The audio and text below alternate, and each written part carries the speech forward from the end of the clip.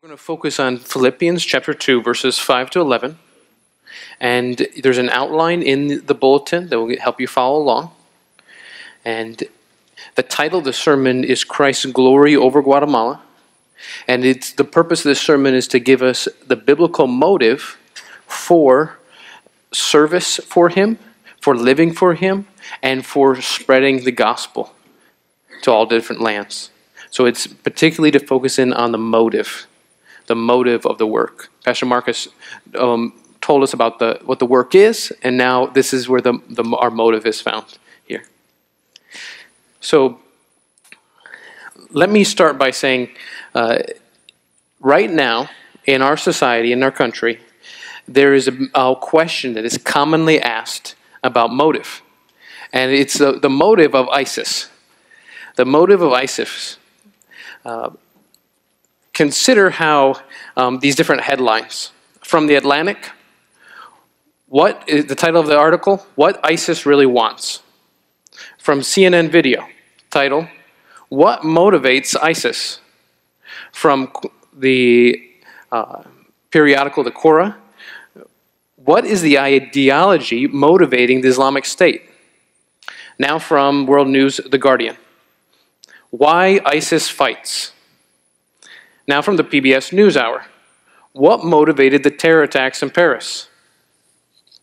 Or from uh, Harvard, and they, they write, um, so who are the members of ISIS? What do they want? And how have they taken center stage so quickly? When you think about now today, in our secular West, there is this big question that everyone's asking. What motivates ISIS to do this war that they're doing? What is their motivation?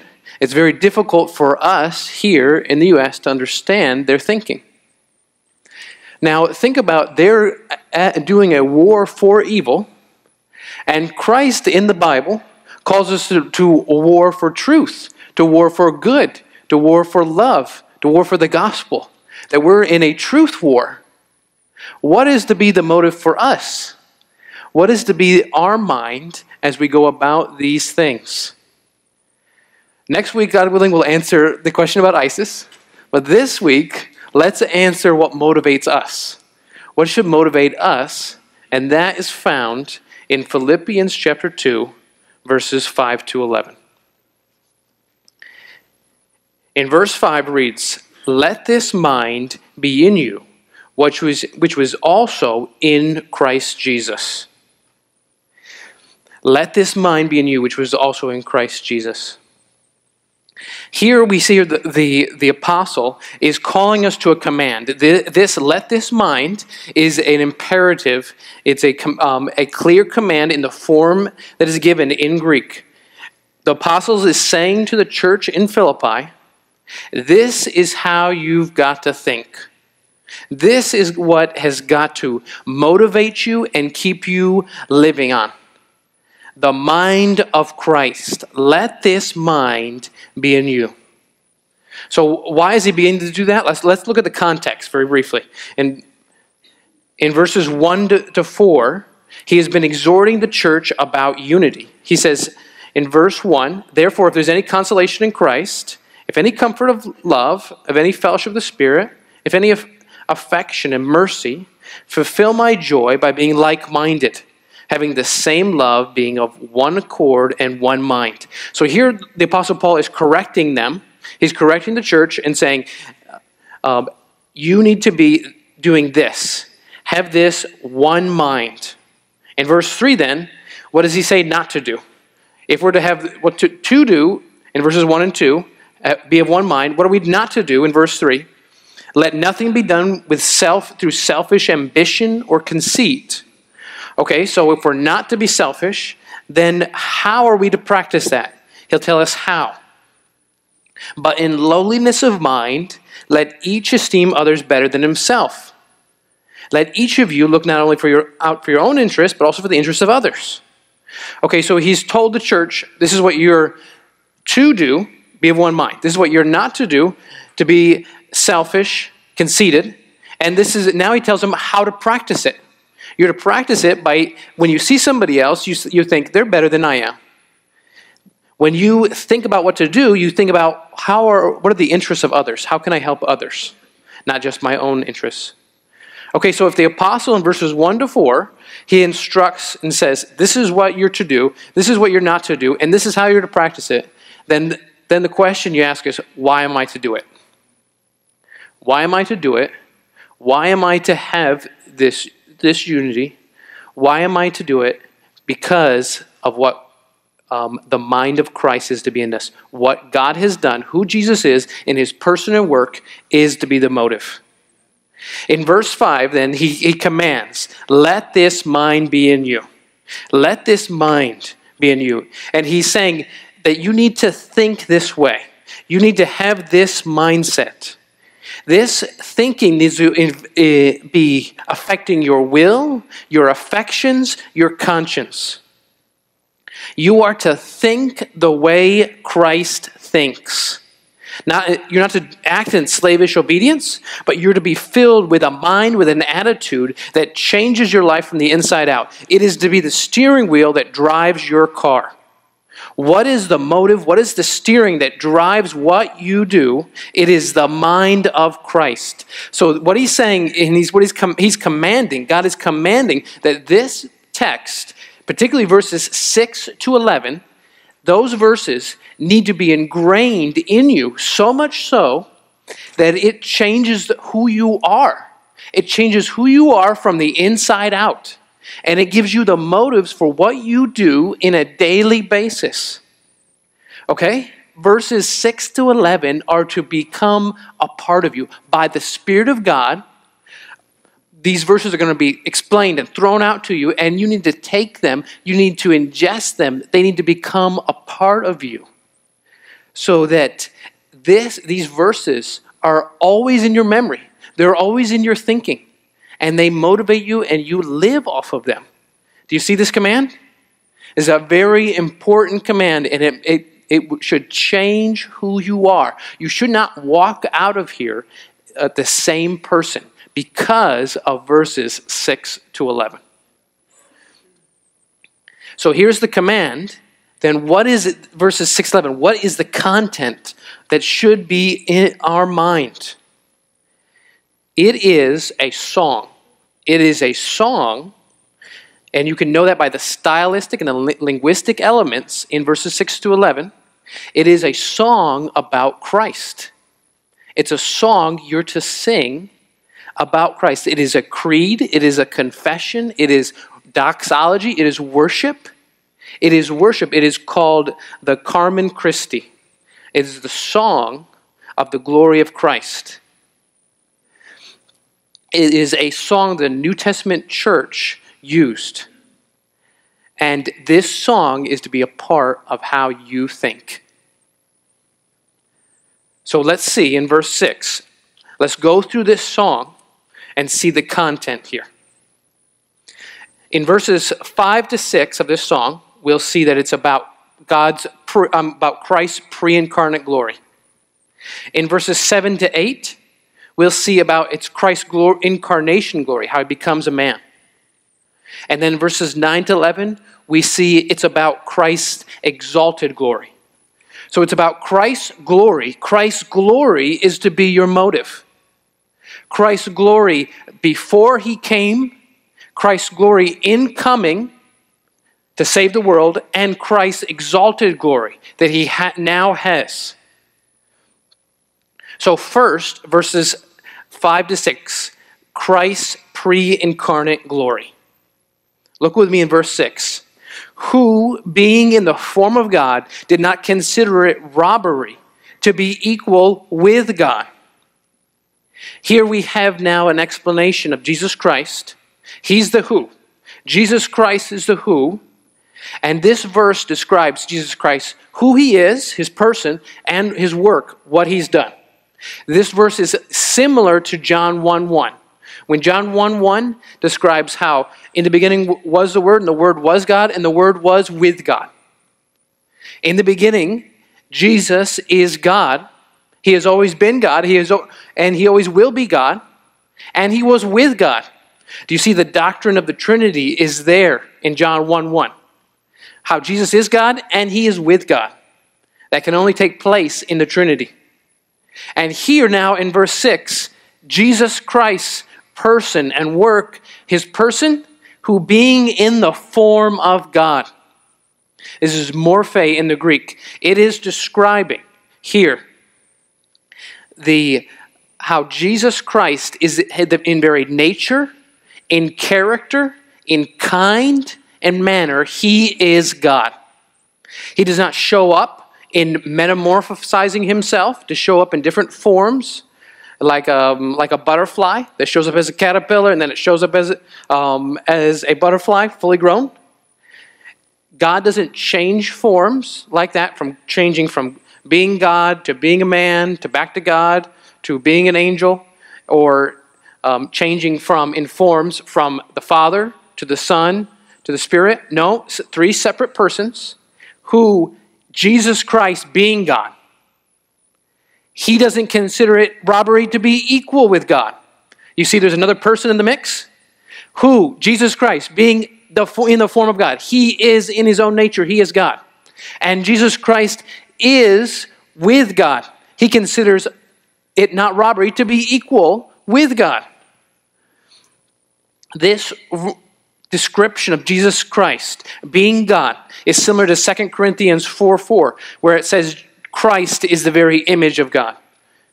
It is the same idea as Colossians 1:15 where it describes that he is the image of God. This description of saying that Jesus Christ being in the form of God is describing him as have, natively being God, essentially being God, and essential to his quality and his person is his glory the shining forth, forth of his attributes. This form and description of God, it can't be anything less than God. You can't be anything less than God.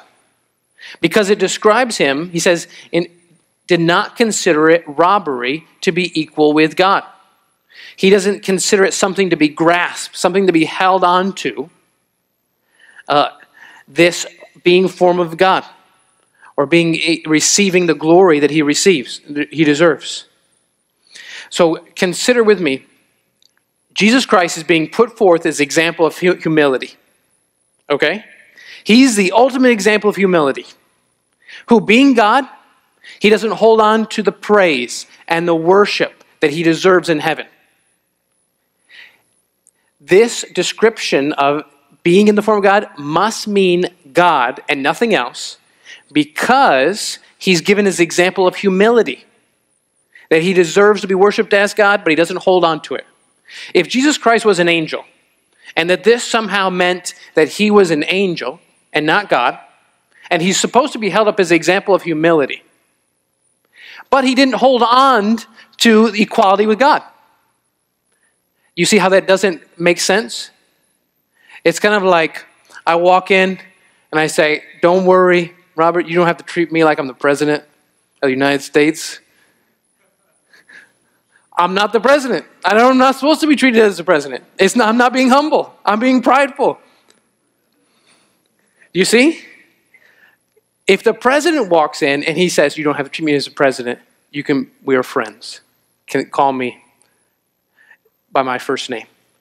You see, that's expression of humility. So, this, by the context and by the description of the words, being in the form of God must mean Jesus is God. So, Jesus being God, he, he is the one. Um, the way John Murray is a. Uh, John Murray said about this text the apostle could not have used a more complete expression to communicate that Jesus is Godhead. He could not have been any clearer to express that Jesus is God. So G- this text says, this verse says, Jesus, being in the form of God, he doesn't consider it something to be held onto, something to be grasped, something to be held tight. Some of the dictionaries say about him that he has always had the nature of God. and did not consider that remaining, remaining equal with God was something to be held onto forcibly. The exegetical dictionary of the New Testament says Christ did not regard his position of equality with God as something to take advantage of for himself. Him being in a state of equality with the Father, that state, it belongs to Christ. He has a right to it. Do you remember how there's someone who wanted that state and it wasn't his? Satan. Satan. Jesus has that state and he doesn't hold on to it. He doesn't hold on to the glory he deserves. Do you see his humility? That he deserves all glory, honor, and praise. Think of Isaiah chapter 6. Isaiah chapter 6, we know, is the description of Jesus Christ. In John, it refers to Isaiah chapter 6. We'll get to that text, and it refers to, in Isaiah 6, is Jesus Christ. In Isaiah 6, the, Isaiah has a vision of Jesus Christ high and lifted up, and the train of his robe filling the temple, and the angels saying, Holy, holy, holy. The worship of heaven is centered around Jesus Christ. This glorious one, this glorious one sitting on a throne, high and lifted up, where the angels cover their, their faces, where the angels cover their feet, where the angels continually cry out, Holy, holy, holy. He humbles himself. The one who makes the heavens, the one who stretched out the Milky Way and any other galaxy, the one who makes every leaf, the one who designs the aerodynamic features of a bird's wings, the one who makes the waterfall. The one who makes a rainy day and, and a sunny one. The God of all creation, the designer of every animal, the designer of you, the maker of heaven and earth, is Jesus Christ. Jesus Christ with all power, reigning in glory in heaven. Jesus Christ having power, gravity, He's the maker of that power. Electricity, He is the maker of that energy. All forces of heat are, of, um, are nothing compared to His power. He is the maker of them all. There is no political power like His. There is no earthly power like His. There is no angelic power as the power that he has. Him, him being God means he is creator. Him being God, he has all power. Him being God, he has all knowledge. Him being God, he is Lord over time. He deserves worship and he was receiving worship, but he humbles himself to act act in such a way where he doesn't receive the worship that he deserves. He acts for his own glory, he acts in love, and he acts in joy.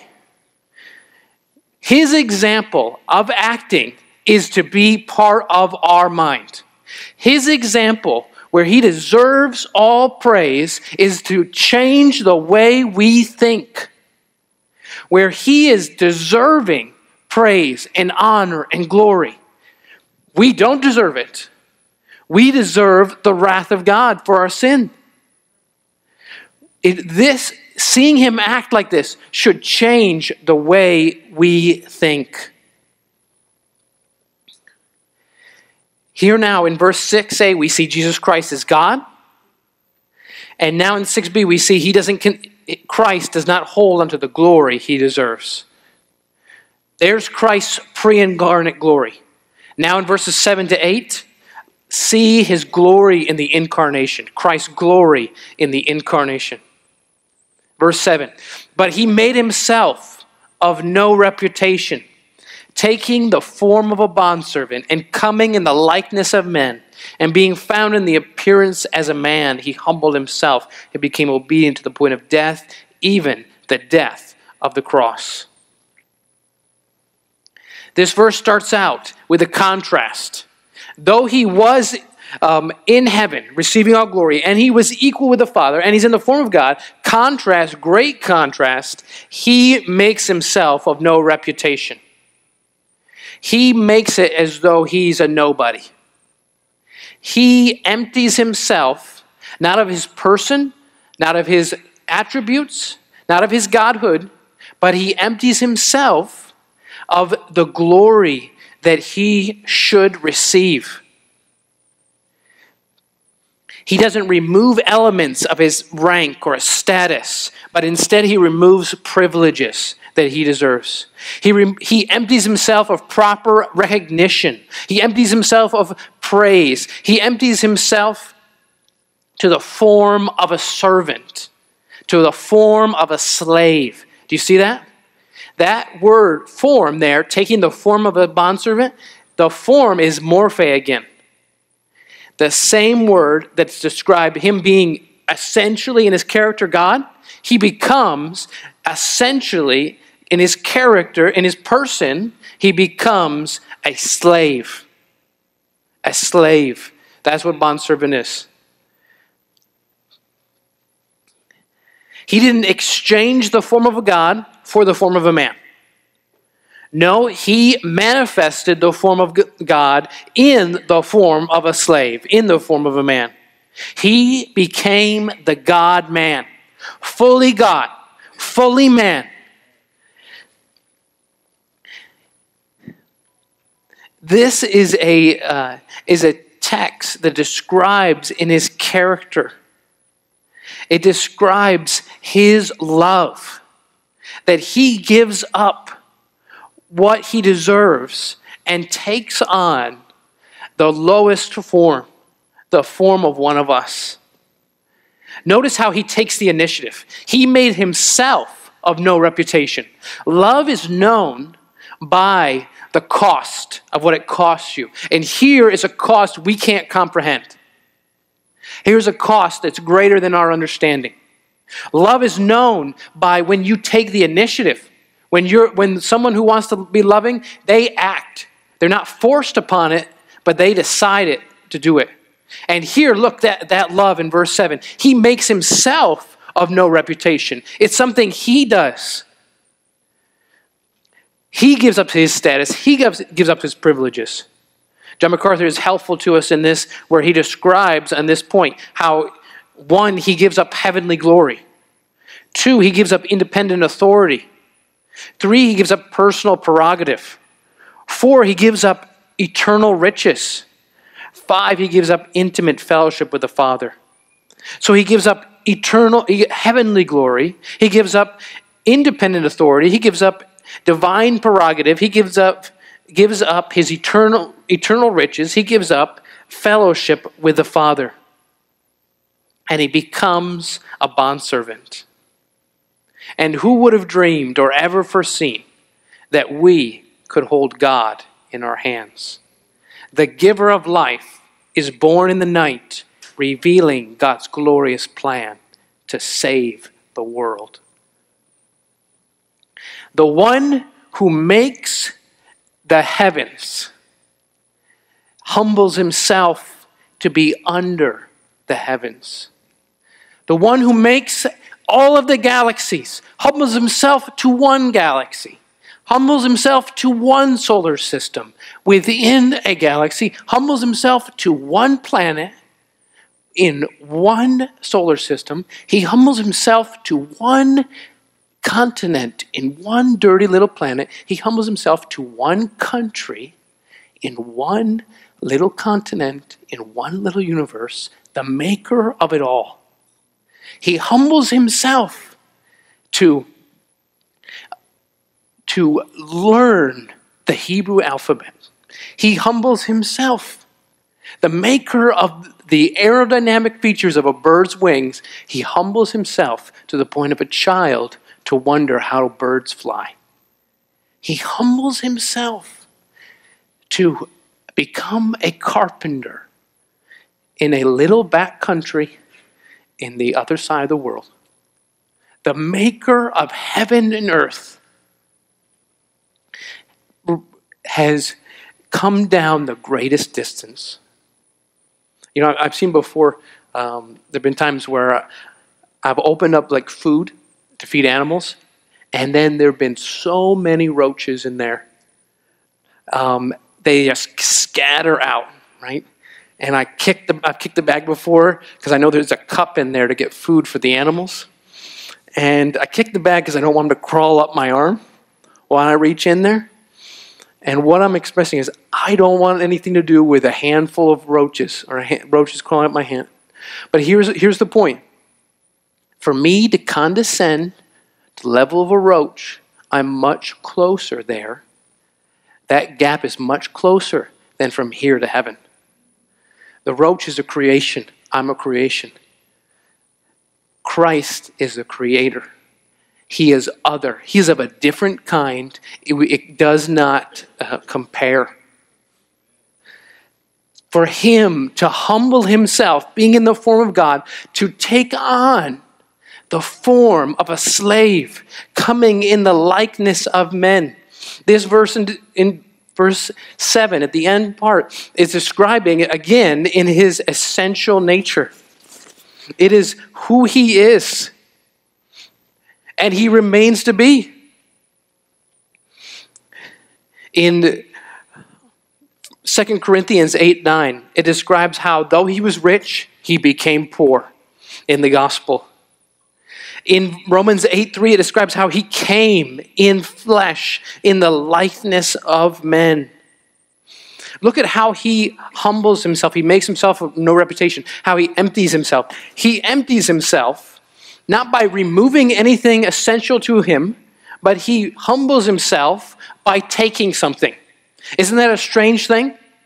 We humble ourselves by taking something away, by taking something away from us. If I became blind, it would humble me. I would lose something and it would become, I would be humbled. Well, God cannot take anything from himself. He can't cease to be God. So, how does God humble himself? He humbles himself not by subtraction, but by addition. He takes on the form that you have. He takes on the form that you have. He humbles himself not by subtraction, but by addition. He humbles himself by taking. That's what the verse says. That's what it describes. Many people from many different years have said many heretical things about Christ based in verse 7, saying, oh, he empties himself. He's not God. He empties himself. He's no longer God. He empties himself. He, he um, ceased to be God, or he ceased to be. No, the verse says he humbles himself not by removing, but by adding, by taking. He humbles himself. And in verse 8, describes how he becomes in appearance as a man. Now it describes this word, the appearance, is particularly for his the way he looked. If you came up to Jesus Christ and there was a crowd and you're going to pick Jesus Christ out of the lineup, you couldn't do it. He's not the guy with the mullet and the um, robe and the you know the blue sash and the, the nice beard. He, you wouldn't be able to pick him out and say, "Oh, from I remember from flannel graph in Sunday school. Yep, that's what Jesus looks like. You're not gonna. He's gonna look just. He looked just like any other person. He had to do the same things other kids do.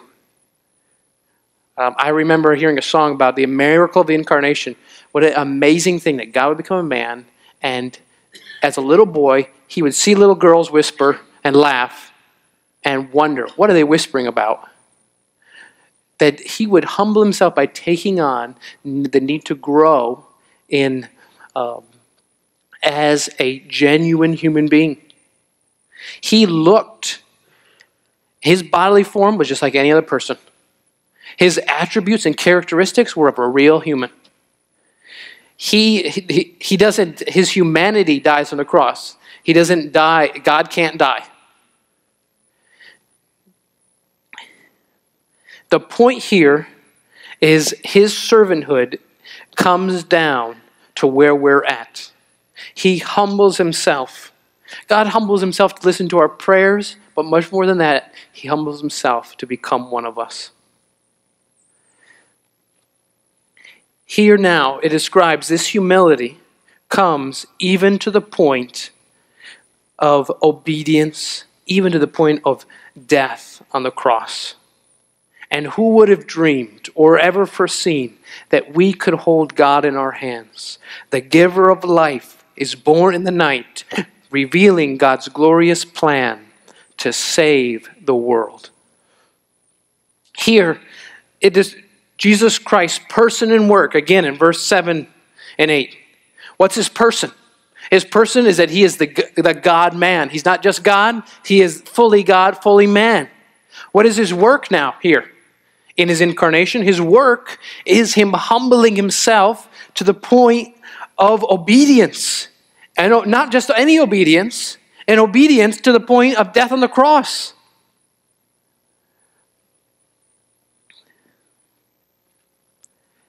This is something unique. This is something rare. This is a, a mountain peak of truth. This is an ocean of the reality of the love of God and the goodness of God. This truth here should be a regular part of you that should make that should change who you are and should change the way you think. He humbles himself and becomes obedient to the point of death, even the death of the cross. Consider the context. The Apostle Paul is describing to this church, this church at Philippi, that you need to be humble. You need to be unified. And how you need to, look at verse 12. You need to obey. Therefore, my beloved, as you've always obeyed, not in my presence only, but now much more in my absence, work out your salvation, your own salvation with fear and trembling he's saying, the Apostle Paul is saying to this people, you need to be humble. You need to be unified. You need to be obedient with fear and trembling. Look at what he says in verse 14. You need to do all things without complaining and disputing. Verse 15, that you may become blameless and harmless children of God without fault in the midst of a crooked and perverse generation among whom you shine as lights in the world. List out, right now, write out the things that you're told to do in this text. In those verses, you are told to be unified. You're told to be humble. You're told to be obedient. You're told to be without complaining. And you're told to be a light in the world, holding forth the word of light. If you write out all those commandments, now you think about the song of Christ. It will tell you something about yourself, tell you something about God, it'll tell you something about how you need the gospel. We struggle in, in to be unified. We argue with our family, friends, co-workers. Why? Because we're prideful. Christ is the ultimate picture of humility. Him deserving all praise, he makes a decision to act and humble himself. We are told to be unified. He is the one who brings ultimate unity and truth. We are told that we need to obey, but we don't like we should. He is obedient, not just obedient to the Father, he's obedient to the point of death. Not just any death, but he's obedient to the point of death on the cross. You understand, the cross in itself, to the Philippian ear, would be a curse word, an actual curse word. In Philippi, they are Roman citizens. They have achieved a status that is unique in the, in the ancient world. They are a Greek city, Macedonian city in the area, and they have uh, been allowed to have the status of to be a Roman citizen. A Roman citizen was not allowed to be crucified. For them, you don't mention the cross in polite society. It is a word that brings to mind all forms of suffering, evil, shame, horrendous things. It's something that you turn your, um, your child's um, eyes away from. It's you cover their ears. You don't want them to think about what happens on a cross. It is, to, for the Apostle Paul to mention it is like mentioning a word that's like a curse word. It would burn the ears. If I say rape, and were to describe that, that you, you would want to turn your eyes away, you would want to turn, close, put your hands over your ears, and you say, You don't talk about that in polite society. It's the same with the cross. The cross was not something that was um, an emblem for churches for many years. Many years following um, the apostolic time because of the shame. And what I'm saying is, we complain, we complain because, and we we're not obedient like we should be. But he becomes obedient even to the point of the cross. And the cross to face not just any death, but to face the undiluted fury of God.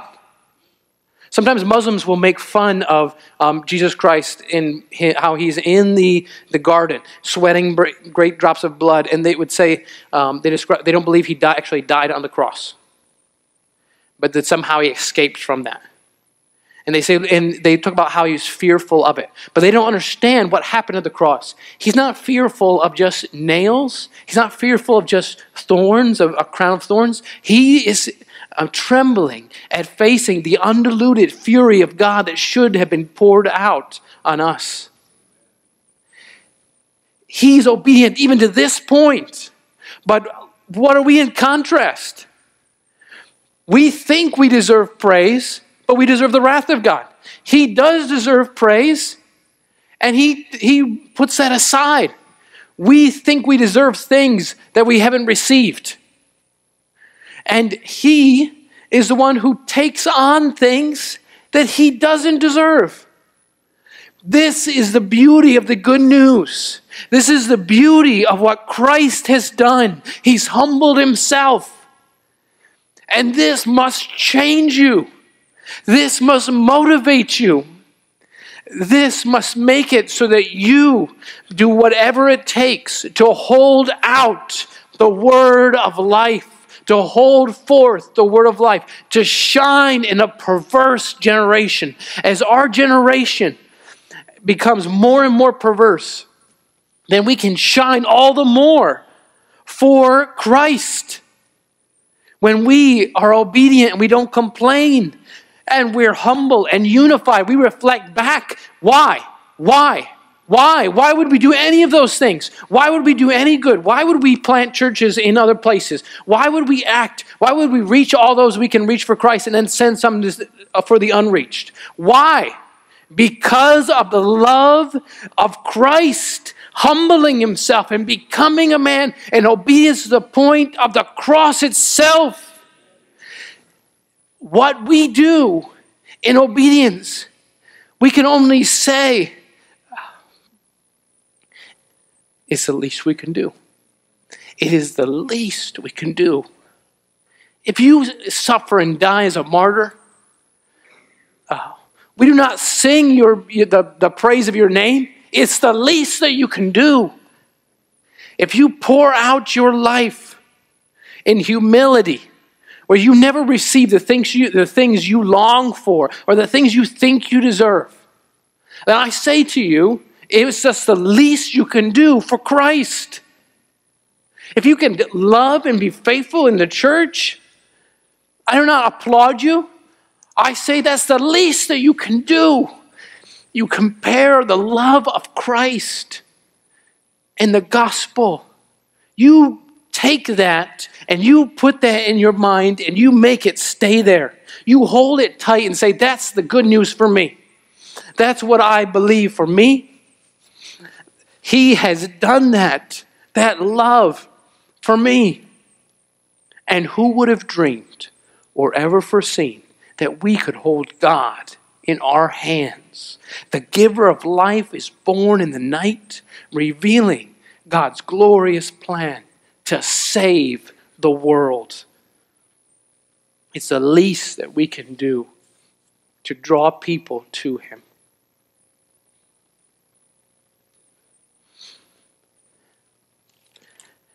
The Father, in, now in Philippians 2, verses 9 to 11, the Father has something to say about what Jesus Christ has done.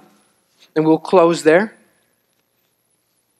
The Father says, Therefore, He's the one who acts. Therefore, God has also highly exalted Him and given Him the name which is above every name, that at the name of Jesus every knee should bow of those in heaven, of those in, on earth, and of those under the earth, and that every tongue should confess that Jesus Christ is Lord to the glory of God the Father. Here, the Father is the one who now begins to act. In verses 5 to 8, we see about Jesus Christ and Him acting. Now, the Father acts in response. And so, what does He, he do? He highly exalts him and gives him a name. And that name is Lord. That name is Lord. First, he highly exalts him. 28 times Paul uses compound words. This is the only time he uses this particular word, and it means to highly elevate, to raise aloft, to be raised to the highest position. Jesus Christ is taken to the pinnacle of the universe and pointed as Lord of all because of his messianic work. His lordship reigns over all. The Father takes him to the highest position and says, He's the one who deserves all submission. He's the one who all the world will bow to. Either you bow now or you bow later. Either you bow now in worship and thanks and praise, or you bow later as you burn. You will bow one way or another. That's what the Father says about how He responds to the work that Christ has done. He gives him a true exaltation. This is the, the highest form of the principle of the, if you humble yourself, you will be exalted in due time. This is the clearest form of that principle continually taught in the scripture. Humble yourself before God, and He's the one who will raise you up.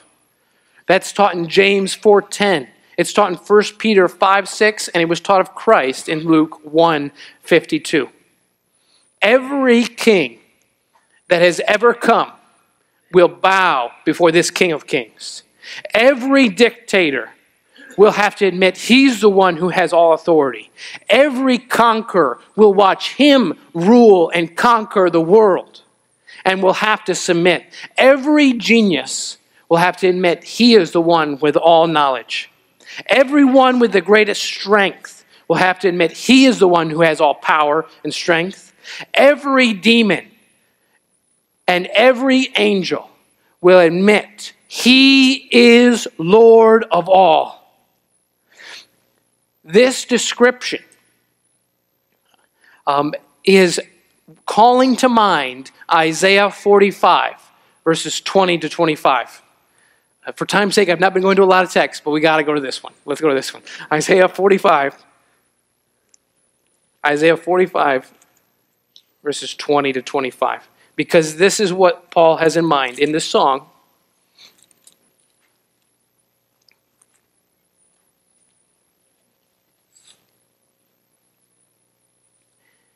Isaiah 45, verse 20. Assemble yourselves together and come. Draw near together, you have, who have escaped from the nations.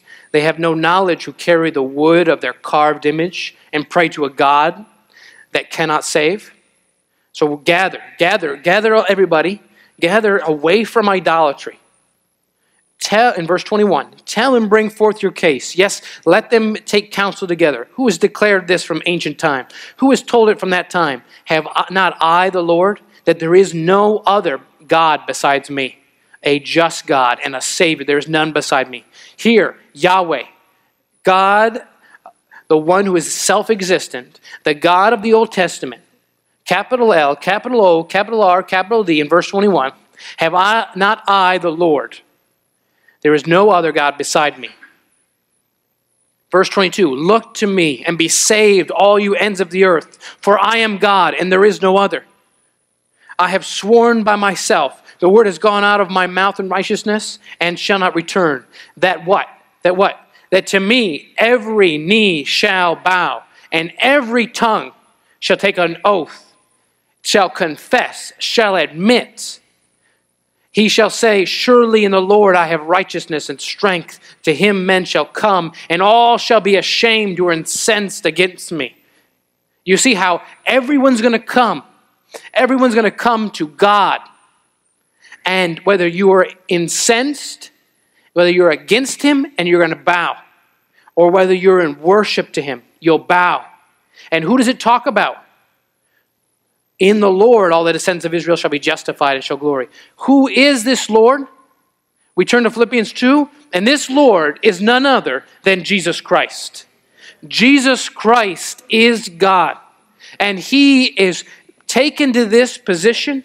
It is not a change in His essential quality, but instead, as in Acts 2.36, Peter says, Let all the house of Israel know assuredly that God has made Him both Lord and Christ that Jesus Christ that you've been crucified. It is his lordship, and I'm quoting a, a um, Baptist preacher. It, was, it is his lordship and messiahship, his messianic lordship that was bestowed upon him in his exaltation. Not that he wasn't Messiah and Lord before the resurrection, he was. But that he had not fulfilled the mission of Messiah until he had died for our sin and risen again. And therefore, before his death and resurrection, the lordship of Christ over the world had not been brought to full actuality. Rebel forces had not yet, were not yet defeated. And the power of darkness held grip. In order to be um, acclaimed Messiah and Lord, the Son of God had to come, defeat the enemy, and lead his people out of bondage and triumph over sin, Satan, and death. Because of his work, Christ puts him and exalts him and gives him the glory he deserves. If Christ has done this, since Christ has done this, our service and love and spreading of his name is the least we can do. It is the least we can do. And who would have dreamed or ever foreseen that we could hold God in our hands? The giver of life is born in the night, revealing God's glorious plan to save the world. Christ has come. He has come from the greatest heights of heaven, his pre incarnate glory. He turns away the glory he deserves. He humbles himself to become a man, to become obedient to death on the cross the greatest humility imaginable that can be conceived. And now he is exalted as Lord. And everyone, every knee that you have ever seen, that knee that you can touch now, that knee that you can touch now, will one day bow before the King of Kings that message needs to be taken to every tribe, every tongue, every nation that Jesus Christ is Lord. His love of His glory, His glory should motivate you.